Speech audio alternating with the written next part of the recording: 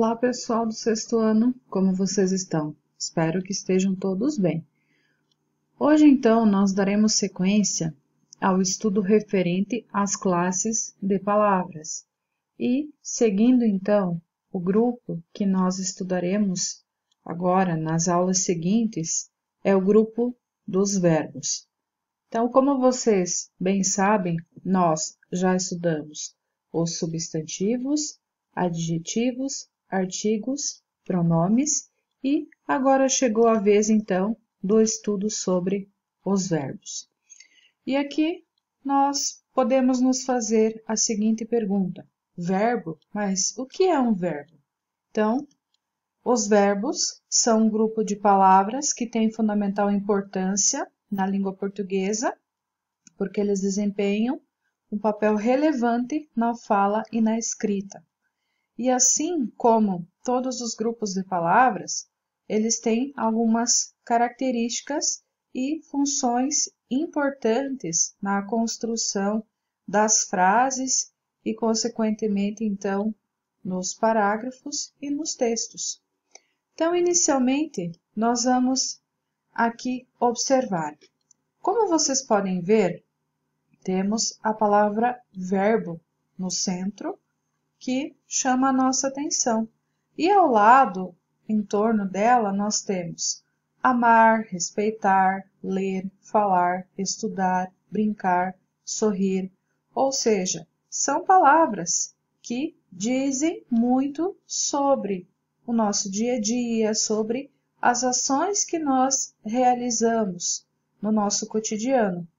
Então, Aqui, a primeira pista que nós podemos ter a respeito da principal função do verbo é que são todas as palavras que indicam ações. Então, o que nós temos aqui como definição para o verbo? O verbo, então, é uma palavra que expressa ação, estado e fenômeno da natureza situados no tempo. Então, essa é uma característica, no caso de situar no tempo, é algo que difere o verbo das outras classes de palavras, ou seja, faz com que nós tenhamos uma função diferente em relação às outras palavras ou aos outros grupos de palavra. Então, nós temos o exemplo aqui. Eu escrevo com rapidez. Então, a ação que é feita aqui nessa frase é a ação de escrever. É uma ação que acontece no momento atual, no momento presente. Os amigos estavam animados. É uma ação que indica um estado no passado, ou seja, como os amigos estavam se sentindo, como eles estavam no que diz respeito, então, ao, ao ânimo deles, que no caso eles estavam animados. E, por último, nós temos naquela noite trovejou muito. Trovejou constitui-se como um fenômeno da natureza, então é uma ação passada. Que nós temos então a exemplificação de cada um desses casos.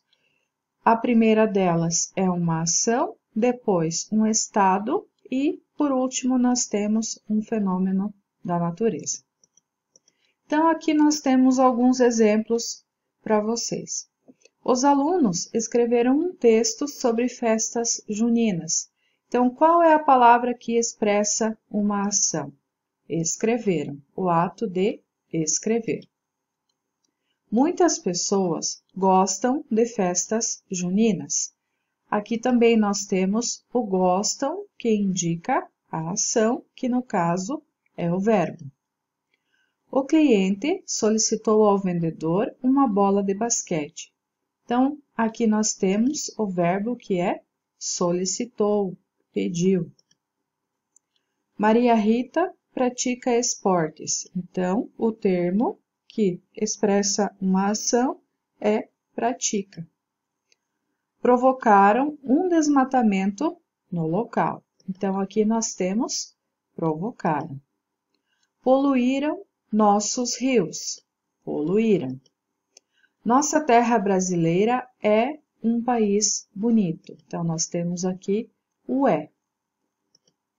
E poucos conhecem esse jogo, o conhece.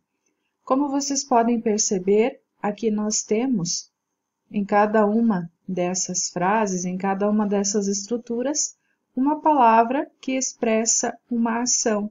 Então, nós temos a ação de escrever, de gostar, solicitar, praticar, provocar, poluir, ser e conhecer. Então, todas essas palavras em destaque são verbos.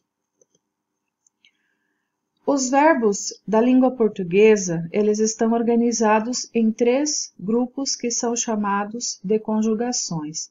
Então, os de primeira conjugação são todos aqueles que terminam em ar, no infinitivo. Então, os verbos, eles têm essa possibilidade no infinitivo quando eles terminam em ar. Então, cantar, amar, sonhar. É quando eles não estão sendo conjugados, então, e quando terminam em ar, ou nas outras formas que nós veremos logo na sequência, eles estão no infinitivo. Os da segunda conjugação são todos os verbos terminados em er, também no infinitivo. Vender, chover, sofrer. Terceira conjugação são todos os verbos terminados em ir, também no infinitivo. Partir, sorrir e abrir. Então, aqui nós temos três conjugações: a primeira, a segunda e a terceira. Então, sempre pela terminação ou em ar, em ir ou em er, é que vai mostrar a qual conjugação cada um dos grupos de verbos pertence. E aí vocês podem estar se perguntando, mas os verbos no infinitivo, eles têm somente essas três possibilidades de término, de finalização? Nós temos uma exceção que diz respeito ao verbo por e aos seus derivados, que pode ser repor, compor, expor, transpor e também outros. Eles pertencem à segunda conjugação, pois a sua forma antiga era poer, ou seja, a terminação em er. Então, todos os verbos que são derivados do verbo por pertencem à segunda conjugação.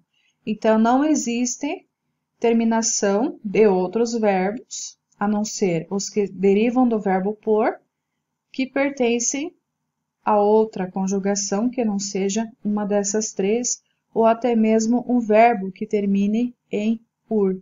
Somente essas três formas, essas três conjugações. Então, aqui eu vou exemplificar para vocês sobre a questão das conjugações. Temos um poema do Afonso Romano, diz assim: Conjugação. Eu falo, tu ouves, ele cala. Eu procuro, tu indagas, ele esconde. Eu planto, tu adubas, ele colhe. Eu ajunto, tu conservas, ele rouba. Eu defendo, tu combates, ele entrega. Eu canto, tu calas, ele vaia. Eu escrevo, tu lês, ele apaga. Então, aqui, todos os verbos que nós temos aqui estão conjugados, ou seja, eles estão concordando com o pronome, com a pessoa do discurso que está aqui. E o que nós vamos fazer aqui é identificar em que conjugação o verbo se encaixa. E aí nós temos que fazer o quê? Nós temos que colocar esse verbo aqui na sua forma infinitiva e aí conseguiremos identificar a conjugação. Então, no caso aqui, o primeiro verbo é o falo. Falo é a forma conjugada e ele vem de falar. Então, o verbo que tem a terminação em ar pertence à primeira conjugação. O segundo verbo é ouves, que vem de ouvir, terminação em ir, terceira conjugação. Cala vem de calar, terminação em ar, primeira conjugação. Depois, procuro, vem de procurar, primeira conjugação. Indagas, vem de indagar, primeira conjugação. Esconde, vem de esconder, segunda conjugação. Planto, vem de plantar, primeira conjugação. Adubas, vem de adubar, portanto, primeira conjugação. Colhe, vem de colher, segunda conjugação. Ajunto, ajuntar, primeira conjugação. Conservas, conservar, primeira conjugação. Rouba, roubar, primeira conjugação. Defendo, vem de defender, segunda conjugação. Combates, combater, segunda conjugação. Entrega, entregar, primeira conjugação. Canto, cantar, primeira conjugação. Calas, vem de calar, primeira conjugação. Vaia, vem de vaiar, primeira conjugação. Escrevo vem de escrever, segunda conjugação. Lês vem de ler, segunda conjugação. E por último, apaga vem de apagar, pertence à primeira conjugação. Então, qual que é o raciocínio que nós temos que fazer aqui para identificar a conjugação do verbo, a qual grupo ele pertence? Então, aqui sempre temos que colocar o verbo na sua forma infinitiva. E dependendo dessa terminação, ele pertence à primeira.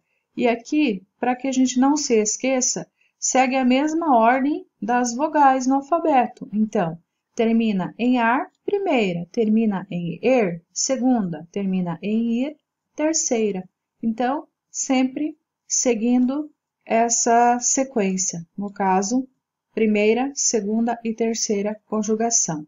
Lembrando então que os verbos que são derivados do verbo por e também o verbo por pertencem também à segunda conjugação. A tarefa hoje é dividida em duas partes. A primeira delas, exercícios 1 e 2 das páginas 273 e também na 276. E a segunda parte é o exercício que está aqui ao lado, que deve ser então copiado no caderno, respondido e essa atividade pronta deve ser postada no AVA. E a atividade é a seguinte: circule as palavras que são verbos, ou seja, as palavrinhas que indicam uma ação, um estado, ou um fenômeno da natureza. Então, é só vocês identificarem e circularem as palavras que exercem essa função, ou seja, as palavras que são verbos. E por hoje é só, e até a próxima aula.